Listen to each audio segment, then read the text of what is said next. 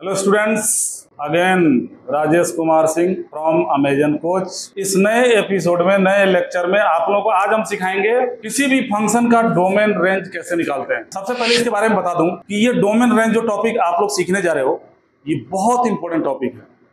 ये इलेवेंथ में भी है ट्वेल्थ में भी है, और ये कॉम्पिटिटिव एग्ज़ाम्स में सबसे ज़्यादा मैटर करता है। सबसे ज़्यादा मतलब किसी भी क्वेश्चन को सॉल्व करोगे, उसमें डोमेन रेंज का जो कॉन्सेप्ट होता है ये कॉम्पिटेटिव एग्ज़ाम में सबसे ज़्यादा यूज़ होता है। और ये बच्चे जल्दी सीख नहीं पाते हैं, जबकि है सिंपल बिल्कुल, फिर भी सीख नहीं पाते हैं। पहले हम डोमेन रेंज के बारे में बताते हैं कि डोमेन क्या होता है रेंज क्या होता है। उसके बाद हम बारी बारी से डोमेन रेंज को अलग अलग फ़ंक्शंस में सिखाना शुरू करेंगे। ध्यान दोगे और ध्यान से सुनोगे, ध्यान से देखोगे। इंपॉर्टेंट होगा तुम्हारे लिए और आगे भी तुम्हारे सीबीएसई बोर्ड एग्ज़ाम या एनडीए जेई के एग्ज़ाम के लिए बहुत हेल्पफुल होगा। तो इस टॉपिक को सुनो कि डोमेन रेंज होता क्या है। देखो, जैसे कोई फ़ंक्शन हम लिख देते हैं, कोई फ़ंक्शन हमने लिख दिया, मान लो हमने लिख दिया F X is equal to X square plus one लिख दिया। और मैं अगर ये पूछूँ कि चलो ठीक है एक्स की जगह पे एक्स की जगह पे आप कुछ भी डाल सकते हो। कुछ भी मतलब कोई भी रियल नंबर डाल सकते हो। One two three four one by two one by three one point two one point कुछ भी डाल सकते हो। तो अगर हम x की जगह पे रियल नंबर्स डालें, यहाँ x की जगह पे तो इस फ़ंक्शन का मिनिमम वैल्यू क्या होगा और मैक्सिमम वैल्यू क्या होगा? रेंज का मतलब क्या होता है? रेंज मतलब होता है औकात। तुम मिनिमम कितना कूद सकते हो? मैक्सिमम कितना जंप कर सकते हो? अगर जंप में तुम्हारी औकात देखनी है, मान लो कि मिनिमम तुम बीमार पड़ गए, बुखार हो गया तो भी एक मीटर कूद गए। और जब स्वस्थ हो, तुम पाँच मीटर कूद गए तो तुम्हारा रेंज कितना हो गया? एक मीटर से पाँच मीटर। ये होता है रेंज रेंज का मतलब इसका मैक्सिमम और मिनिमम वैल्यू क्या होगा? अब जस्ट इमेजिन करो। हम पढ़ेंगे इस टॉपिक को, लेकिन इसके बारे में पहले जानो कि हम क्या सीखने जा रहे हैं। हमने एक algebraic function normal algebraic function लिया। इसमें कोई सा भी फ़ंक्शन आ सकता है। ट्रिग्नोमेट्रिक फ़ंक्शन आ सकता है इनवर्स फ़ंक्शन आ सकता है एक्सपोनेंशियल फ़ंक्शन आ सकता है लॉगरिदमिक फ़ंक्शन आ सकता है, और उन फ़ंक्शंस का डोमेन और रेंज कैसे निकालते हैं, ये चीज़ इस टॉपिक के अंदर हमें सीखना है। अगर मैं पूछूँ कि इसका मिनिमम वैल्यू क्या होगा, तुम क्या जवाब दोगे? इसका मिनिमम वैल्यू क्या होगा? वन क्योंकि तुम इलेवन ट्वेल्थ क्लास के हो, तुमने ऑब्ज़र्व कर लिया। अब इलेवन ट्वेल्थ के अलावा तुम अमेजन कोच से पढ़ रहे हो, तुम्हें पता चली जाएगा कि किसी भी क्वांटिटी का अगर हम स्क्वायर करेंगे तो वो पॉजिटिव होगा। अरे पावर जब इवन नंबर होता है तो वैल्यू देगा पॉजिटिव और किसी पॉजिटिव क्वांटिटी में अगर वन जोड़ोगे तो वन से कम आने का तो सवाल ही नहीं है। यानी मिनिमम इसका क्या हो जाएगा? वन मिनिमम वन कब होगा? जब तुम x की जगह पे ज़ीरो डालो तब मिनिमम इसका क्या होगा? वन होगा। और मैक्सिमम क्या होगा? इन्फिनिटी बिल्कुल सही आंसर देखो, एकदम ये, क्या नाम है, पुष्कर, ये सही आंसर दे रहा है। यहाँ पे जितनी बड़ी संख्या डालोगे, उतना बड़ा वैल्यू आएगा। पाँच डालोगे, छब्बीस आ जाएगा। नहीं आएगा। पाँच का स्क्वायर पच्चीस और एक छब्बीस। दस डालोगे एक सौ एक आ जाएगा, सौ डालोगे दस हज़ार एक आ जाएगा। जितनी बड़ी संख्या डालोगे, उतना बड़ा वैल्यू आएगा। जितनी छोटी संख्या डालोगे, उतना बड़ा वैल्यू आएगा। छोटी पे भी बड़ा आएगा माइनस का सौ डालोगे तो स्क्वायर करके तो पॉजिटिव होगा। तब भी एक जोड़ने के बाद बड़ा ही आएगा। तो इसका तुमने क्या बताया? कि मैक्सिमम वैल्यू जो होगा, ये डिफाइन नहीं होगा नॉट डिफाइन तो आज जो हम सीखने जा रहे हैं वो यही चीज़ सीखने जा रहे हैं। देखो, यहाँ पे आपको एक नॉर्मल फ़ंक्शन मिल गया। आपने देख के, अपने प्रीवियस नॉलेज के आधार पे, अपने नॉलेज के आधार पे आपने ये बता दिया कि मिनिमम वैल्यू इसका वन होगा मैक्सिमम इसका डिफाइन नहीं होगा। लेकिन हर जगह आप ये चीज़ नहीं बता सकते कि मिनिमम क्या होगा मैक्सिमम क्या होता। तो इसके लिए एक प्रोसेस बना हुआ है, एक मेथड बना हुआ है। उसी मेथड को आज हमें सीखना है। कि किसी भी फ़ंक्शन का मिनिमम वैल्यू क्या होगा और मैक्सिमम क्या होगा। और रियली ये बहुत ज़्यादा इंपॉर्टेंट टॉपिक है तो थोड़ा ध्यान से सुनोगे और समझने की कोशिश करोगे, ठीक है? तो आगे बढ़ने से पहले एक बार मैं ग्राफिकली बता दूँ कि मतलब डोमेन क्या होता है और रेंज क्या होता है। ग्राफ के ऊपर कि होता है सीबीएसई बोर्ड एग्ज़ाम में क्या होता है? एक नंबर का कोई क्वेश्चन आएगा ग्राफ बना देगा। खाली ग्राफ बना के छोड़ देगा। अब बोलेगा कि ऑब्ज़र्व करो ग्राफ को ऑब्ज़र्व करो, उसके बाद बताओ कि इस फ़ंक्शन का मिनिमम वैल्यू क्या है और मैक्सिमम वैल्यू क्या है। तो पहले हम तुम्हें वो सिखाते हैं कि ग्राफ को ऑब्ज़र्व करके मिनिमम और मैक्सिमम वैल्यू हम कैसे डिफाइन करते हैं। उसके बाद हम डिफरेंट डिफरेंट फ़ंक्शंस का मैक्सिमम मिनिमम वैल्यूज़ निकालना सिखाएँगे। उबना नहीं है। हम बनाते छोटे छोटे वीडियो है, क्योंकि आपको पता होगा, पिछली बार हमने शॉर्ट्स डाला था, यूरिया वाला, वो सच्चाई है। ज़्यादा देर तुम पढ़ नहीं पाओगे। मैथ्स ऐसा है कि अगर ज़्यादा देर पढ़ा दिया जाए तो पजल्ड हो जाते हो। तो छोटे छोटे वीडियोज़ बनेंगे, लेकिन डोमेन रेंज के जितने वीडियोज़ बनेंगे lecture one lecture two lecture three lecture four आपको सब देखना है। उससे आप सीबीएसई में भी बहुत बढ़िया काम करोगे और कॉम्पिटिटिव लेवल पे भी बहुत बढ़िया काम करोगे। तो चलो, आओ हम शुरू करते हैं, देखते हैं कि है क्या चीज़, ये किस चिड़िया का नाम है डोमेन एंड रेंज आप जो डोमेन निकालते हो डोमेन का मतलब क्या होता है एक्स किसी भी फ़ंक्शन में एक्स के जगह पे क्या डाल सकते हैं? अब जैसे मान लो, हमने F X is equal to लिख दिया। X upon X minus two और मैंने बोला कि इसका डोमेन निकालो। का मतलब हुआ कि आप एक्स की जगह पे क्या क्या डाल सकते हो। आप कहोगे, हमें कौन सा किसी टाइप का प्रतिबंध लगा हम जो मर्ज़ी डाल देंगे। वन डाल देंगे, टू डाल देंगे, हंड्रेड डाल देंगे, टू हंड्रेड डाल देंगे, फाइव हंड्रेड डाल देंगे। ऐसा नहीं है। कुछ चीज़ों से बचना पड़ता है। है कि नहीं? अब मान लो तुम्हें यहाँ से एवरेस्ट की चढ़ाई करनी है तो ऐसे हनुमान जी थोड़े खुद के आप पहुँच जाओगे एकदम एवरेस्ट के ऊपर। भाई, उसमें ट्रैक बने हुए हैं। जो पर्वत पे चढ़ते हैं, उनके लिए भी ट्रैक बने हुए किस रास्ते से जाना है? अब ठीक है, तुम्हारे पास रस्सी है, कंटे हैं तुमने फेंका।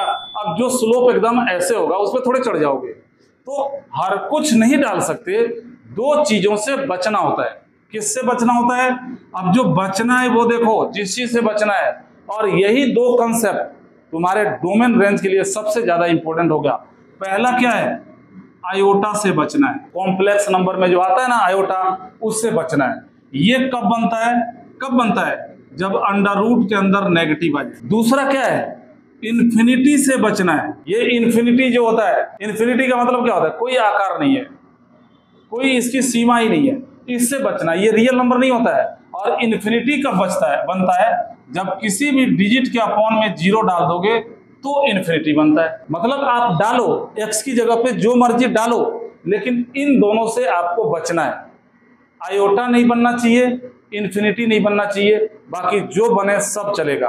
रूट में कुछ बन जाए, नेगेटिव बन जाए, पॉजिटिव बन जाए, पॉइंट के बाद पचास डिजिट आ जाए, कोई दिक्कत नहीं है। ये दोनों नहीं बनना चाहिए। अब तुम कहोगे, सर तो हम बचेंगे कैसे? हमें क्वेश्चन देख के ये कैसे पता चलेगा कि हमें बचना कैसे है? बचने का तरीका बता रहा हूँ। जब तुम्हें ये पता चल गया कि इन्फिनिटी तब बनता है जब नीचे ज़ीरो बने तो कोशिश करो ना कि नीचे ज़ीरो ना बने। तो ये ध्यान रखो, ये रेमेडियल उपचार बता रहा हूँ। रेमेडीज पहला उपचार, अगर फ़ंक्शन तुम्हारा पी अपॉन क्यू के फॉर्म में है, ये ध्यान रखो क्यू ज़ीरो के बराबर नहीं होना चाहिए। दूसरा उपचार, अगर तुम्हारा फ़ंक्शन रूट के अंदर है, कुछ भी रूट के अंदर लिखा है, कोई भी फ़ंक्शन है तुम्हें पता है कि रूट के अंदर नेगेटिव आएगा तो ही आयोटा बनेगा। रूट के अंदर अगर पॉजिटिव आ गया तो वो रियल नंबर बनाएगा। तो यहाँ पे तुम्हें क्या करना है? तो रूट के अंदर जो क्वांटिटी है, ये ज़ीरो या उससे बड़ी होनी चाहिए। ये दो चीज़ें यूज़ करना सीख लो।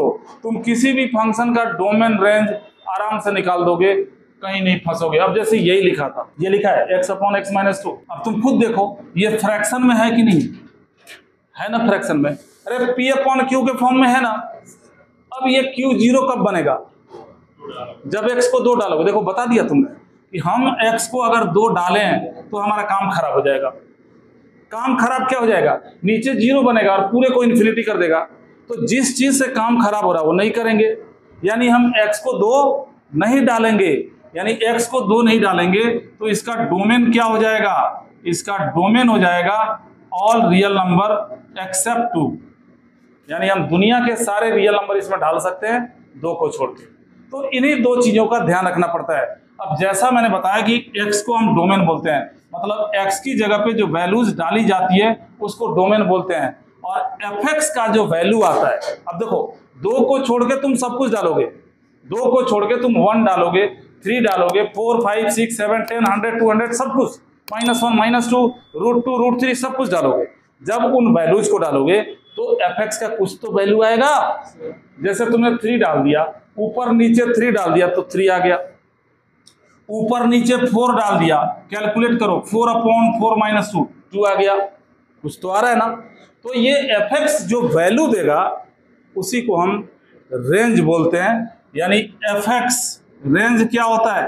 रेंज का मतलब होता है एफ़ एक्स या वाई आप जो टू डायमेंशनल जोमेट्री में ग्राफ बनाते हो बनाते हो ना ग्राफ तो आप क्या करते हो? एक एक्स एक्सिस बनाते हो, एक वाई एक्सिस बनाते हो तो ये जो एक्स एक्सिस बनाते हो, इसी को हम बोलते हैं डोमेन और ये जो वाई एक्सिस बनाते हो, इसको हम क्या बोलते हैं?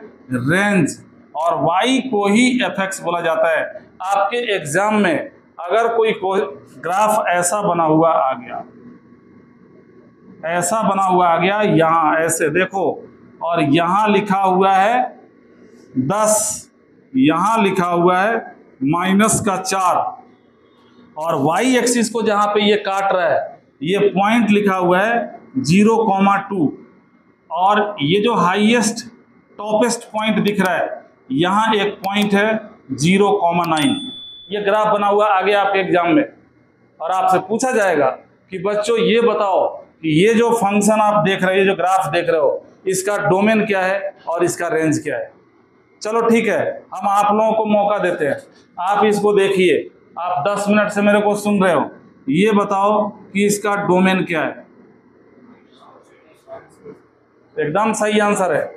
अरे तुम लोग मेरे स्टूडेंट हो तो सही, कुछ तो बच्चे सही देंगे आंसर डोमेन का मतलब क्या होता है? एक्स एक्स मतलब ये ग्राफ एक्स एक्सिस पे कहाँ से कहाँ तक फैला हुआ है? यानी चार से दस तक फैला हुआ है। तो आपका डोमेन हो गया माइनस चार से लेके दस। चार से नहीं, माइनस चार से फैला हुआ है। और देखो, यहाँ जो हमने गोल सर्कल बनाया दोनों जगह, इसमें भूस भर रखा है। इस पे भी ध्यान रखना है। बाई द वे अगर यहाँ पे भूस नहीं भरा होता, ये हॉलो होता, गोल सर्कल खोखला होता। खोखला का मतलब क्या हुआ?